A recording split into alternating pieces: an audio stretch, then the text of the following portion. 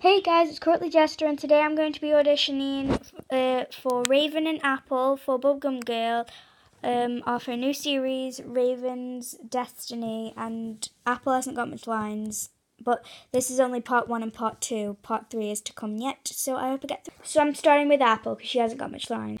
Hi, Raven! Now for Raven. No, I will get there. You just think I'm a villain just because my mom was the evil queen doesn't mean I'm evil. Maddie, I wish everyone here will know who I really am. I know, but everyone else. I'm not popular. Okay. Apple, I'm not in the mood. Okay, so they were my auditions. I hope I get the part. Bye, guys.